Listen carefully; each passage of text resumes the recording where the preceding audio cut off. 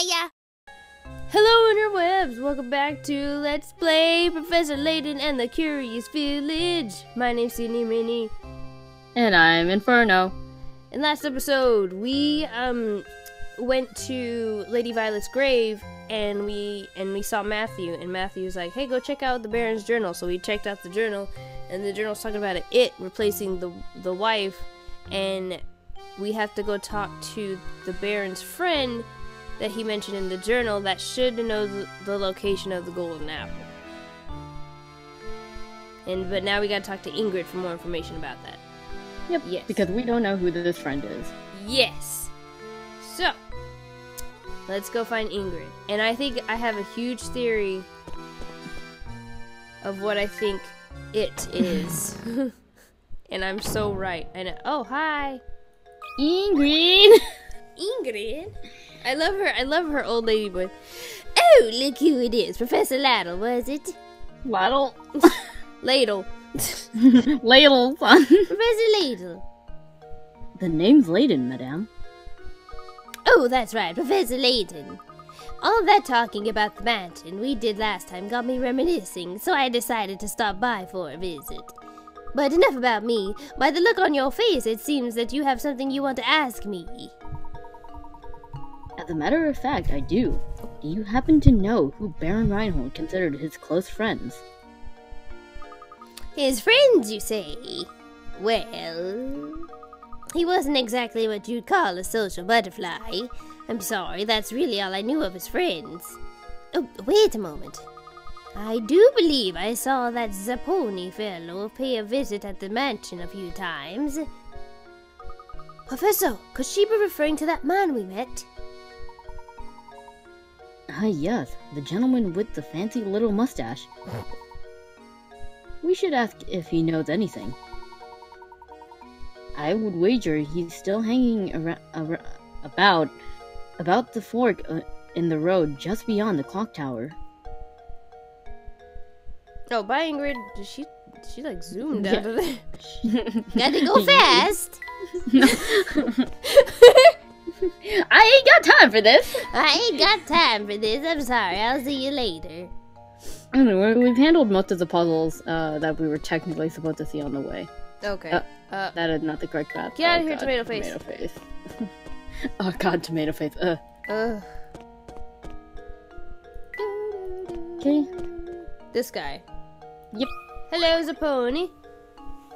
the pony. Zapponi. Uh, close friends of the Baron?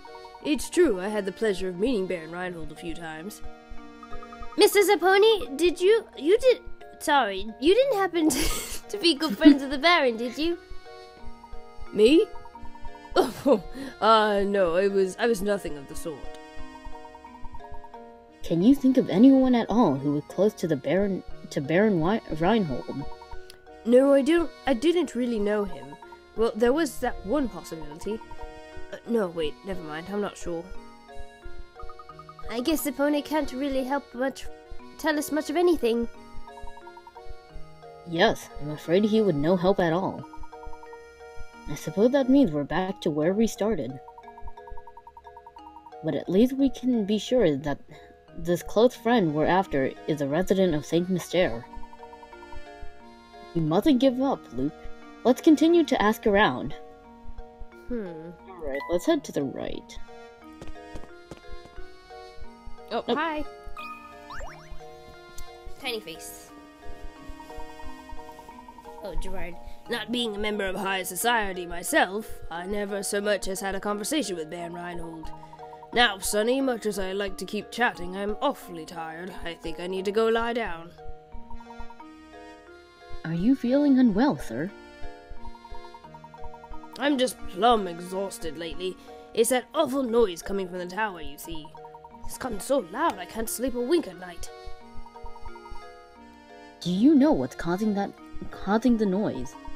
It's just a rumor, but I hear that every time that sound rips through Miss Saint Mystere, someone disappears. They say the ones who have been gone missing who have been talking about feeling tired. But those who disappear are back before you know it, so it's probably a bunch of poppycock. Poppycock. Hmm. Whenever the noise sounds, someone disappears. Interesting. Do you think the peculiar sound has anything to do with that strange old man who abducted Ramon? It's certainly a possibility, isn't it?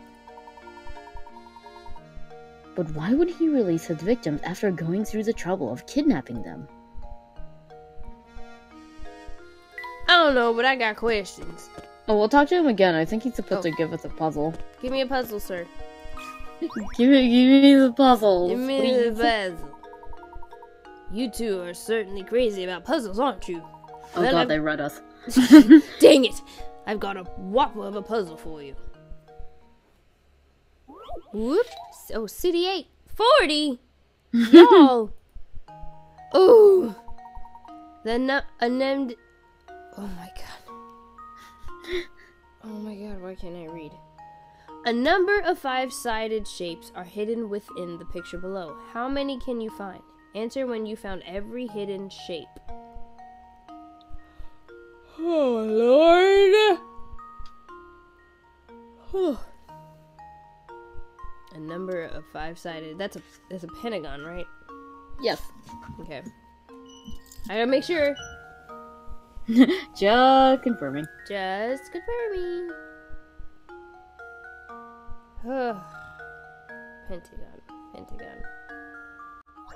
Okay. Five. That's this triangle. Can I mark? See. Uh.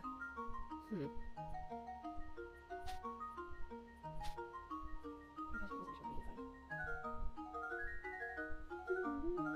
Hmm. It's weird because I'm not seeing them, but then I'm like. This one? One, two, three. This one, two, three. One, two, three. Um. I, what? Try making a five-sided shape. Uh, just let you there are no equilateral ones, so they're not gonna be a perfect pentagon anymore. No, I mean like on the actual square itself. Just using the lines, uh, just try making one um, pentagon. Yeah, it's That's five sides. Not using. I don't know what happened to that one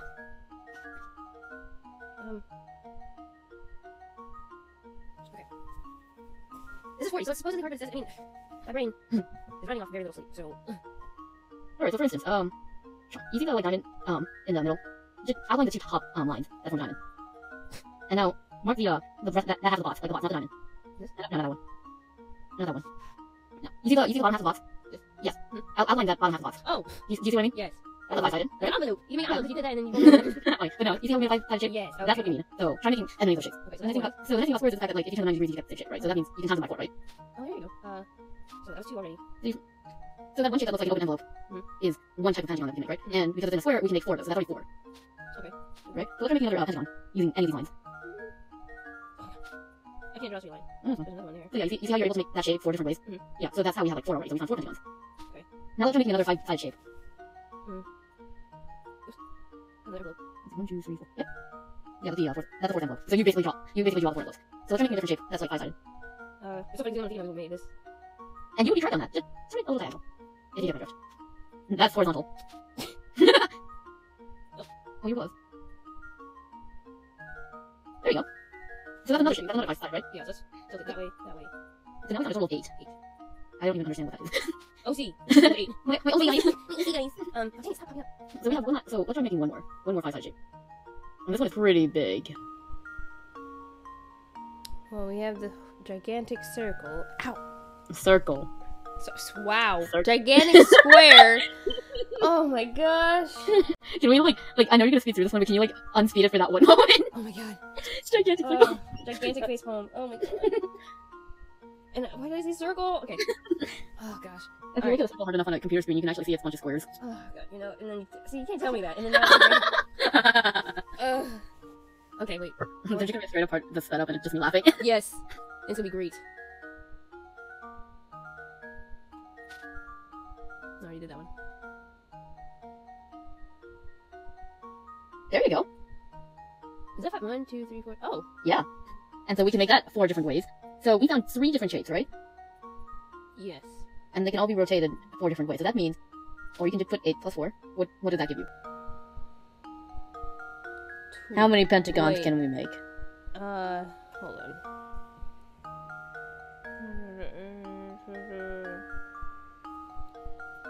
Twelve.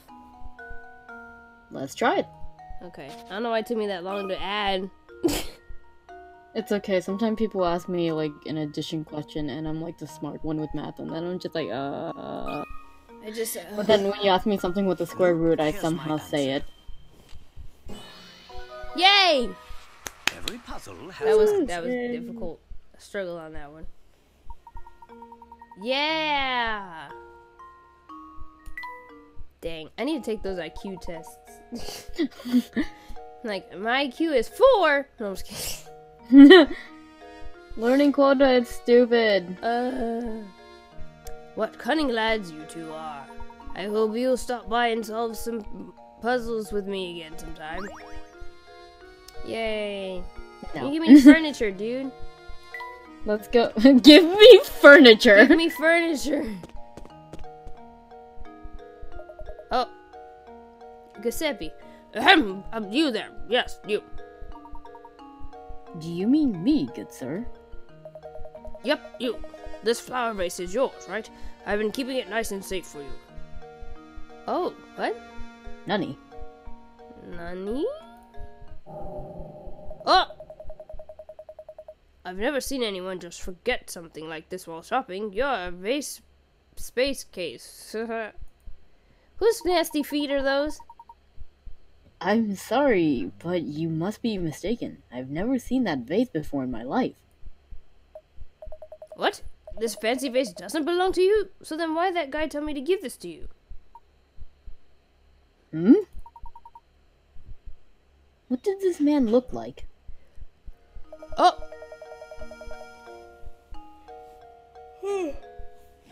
Hi. Well, my head has a way of obs- obscuring certain details from me. Dude, it's the worst, I tell you. That was a terrible pun. But back to the issue at hand. The mystery man wasn't a regular around here, that's for sure. Don't sweat it though. I'll just give it back to the guy next time I see him. So speaking of flower vases, I know a puzzle I bet you'll like. It's not a hard one or anything, but just it's just it's the least I can do for bothering you about the vase. Okay. Oh, oh, yay! Puzzles. Puzzles. Someone knocked over this fabulous vase and shattered it. Fi- fit the pieces together and restore the vase to its original shape. There's one catch, though. Mixed in with the pieces is a single piece from a different vase. Alright, let's just put this vase back together. Okay.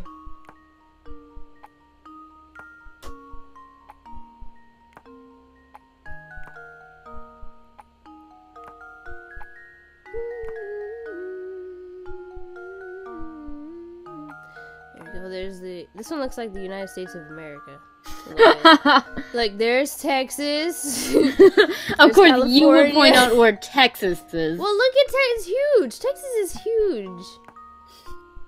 And then, and then here's an eagle or a dog, or it looks like XJ9. if you squint and tilt your head, sure. I was just gonna say someone in a really bad ghost costume. Or that. Boo. Anyway, let's do it.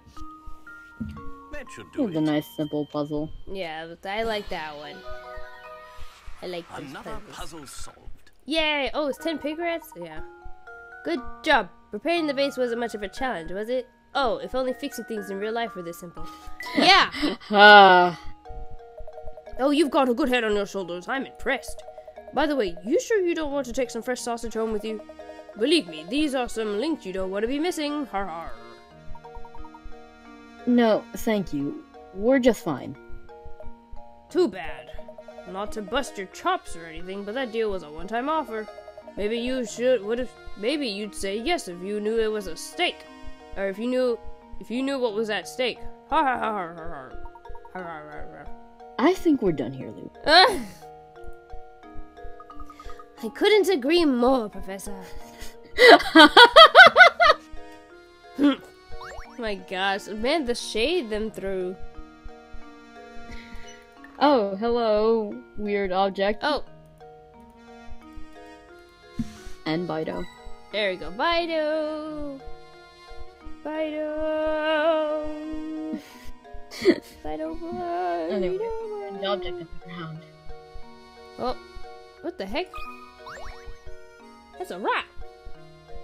I thought it was a crumpled up piece of paper. Oh, it looked like a rat. What kind of lout just throws trash on the ground? I'm going to pick it up.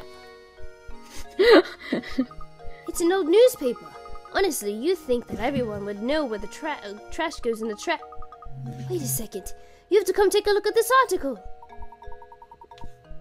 Well, would you look at that? It seems to be Inspector Chelmey. Ha ha ha! Look at that. Chelmey hailed as brilliant detective and devoted husband. Oh, he's married. Chelmey's married?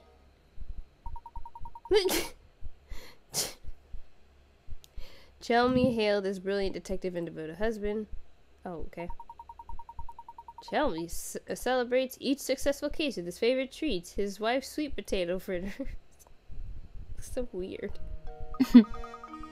wow, who saw that one coming? He's so gruff that I never imagined he had a soft side like that. just look over, just look at that old grump grinning over his plate of sweet potato fritters. I knew he was fussing over nothing when he said he hated sweets back at the Reinhold Manor. Hmm. That's right, Luke. He did say that. How very curious. That's weird. Oh God, hello. Oh god! do you want me to talk to you? Cause you know I'm gonna talk to you in the next episode. Cause you're kind of creeping me out a little bit. you kind of like, come over here. hey, come here, children. There's only one child here, though. Should yeah, that's right. oh God. Okay. So thank you guys so very much for watching. In the next episode, we'll talk to this scary-looking pedo guy. so, if no one's told you that they love you today, I do. Much love. Bye. Bye. oh. God, it's so weird. Why is he doing that?